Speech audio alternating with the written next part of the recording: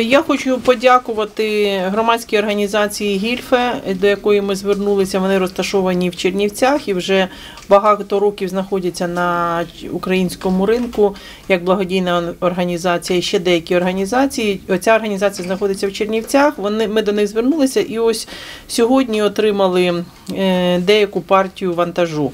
Це одежа, це лікарські засоби, це засоби гігієни. Ми ще не все вскрили, але є накладна, тобто це все офіційно. Е, Вантаж було доставлено з Чернівців до міста Львова. І ще один підприємець теж перевантажив вантаж, і ось два грузи сьогодні ми отримали. Тому щира подяка їм. Е, Зараз дівчата починають сортувати. Ми медикаменти всі віддамо на нашу лікарню. Е, Там медики розберуться, але то вкрай воно необхідне.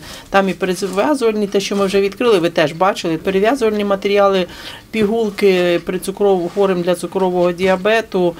Може, якісь знеболюючі є. Ну ще ми не знаємо. Переліку цього немає.